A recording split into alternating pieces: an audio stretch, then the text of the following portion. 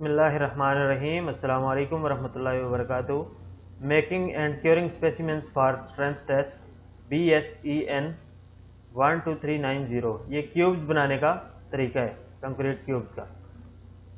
Required operators सामान इसके लिए क्या क्या चाहिए हमें? सबसे पहले इसमें क्यूब मोल्ड इसकी, इस मोल्ड की length 150 fifty M M width hundred fifty M M और हाइट भी हंड्रेड फिफ्टी एम एम यानी लेंथ विड्थ हाइट सब इसमें छः इंच होती है। Wheel barrow scoop tamping bar tamping bar का टेम्पिंग फेस जो है वो 25 एम mm यानी एरिया इसका 25 एम mm है दोनों तरफ़ से। यानी ये इसका जो, ये इस तरफ़ भी 25 एम mm है और यहाँ से ये भी 25 एम mm यानी एक इंच वन स्क्वायर इंच का ये टेम्पिंग बार है।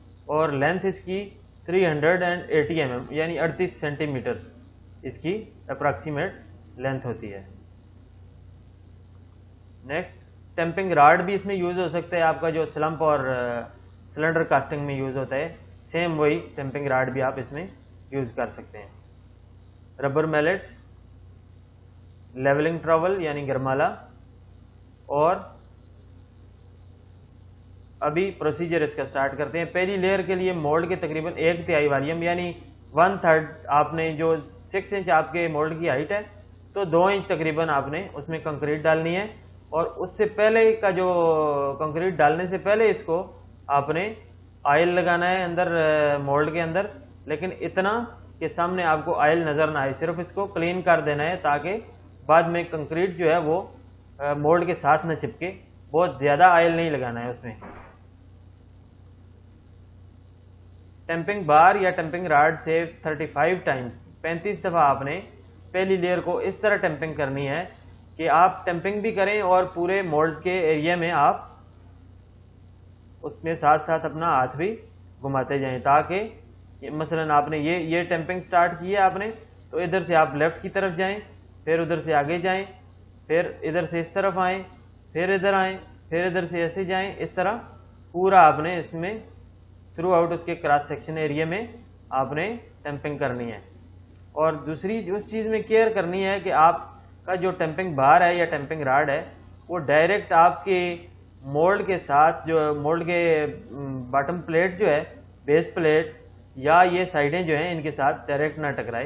कंक्रीट में आपने टेम्पिंग करनी है और साइडों में भी थोड़ी थोड़ी कंक्रीट यानी उसको साइड से थोड़ा आपने अबाउट वन इंच आपने अंदर रख के उसको टेम्पिंग करनी है। नेक्स्ट अच्छा टेपिंग जो है, इसमें जो रबर हैमर से या रबर मैलेट से आपने जो करनी है टेपिंग उसके लिए ये जो British standard one two three nine zero part two है, इसमें टेपिंग के लिए कोई मखसूस तादाद नहीं बताई गई है, लेकिन उसमें यही कहा गया है कि जब तक उसमें से वाइट निकल ना जाए, तब तक आपने उसको टैप करना है ये। ये देखें अभी ऑलमोस्ट आपको ऊपर जो है ना निकलते हुए वाइट नज़र ना आए, कोई बुलबुले उसमें नज़र ना आए तो फिर आप टैपिंग उसकी बंद कर सकते हैं।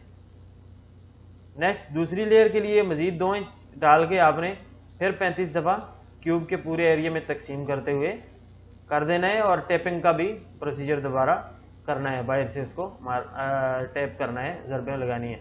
अब ये देखें, इसमें आपने देख सकते हैं कि यहाँ पे टैप कर रहा है वो और ये ऊपर से ऑलमोस्ट देखने में प्लेन नज़र आ रहा है। इस तरह का हो जाता है ये।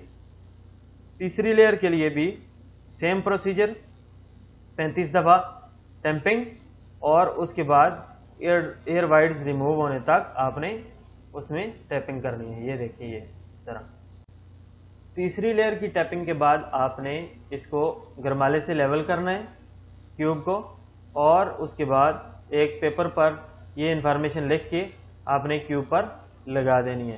Casting date mix description location or building number structure reference casting date तो वो डेट होगी जिस दिन आपने सैंपल बनाया मिक्स डिस्क्रिप्शन यानी आपका मिक्स जो आपने क्यूब भरे हैं, उसका मिक्स 300 किलोग्राम पर स्क्वायर सेंटीमीटर है, या 350 किलोग्राम पर स्क्वायर सेंटीमीटर है, या जो भी है, वो आपने उस पर लिख देना है। ये, इधर देखें सी थर्टी ओ लिखा हुआ है, ये।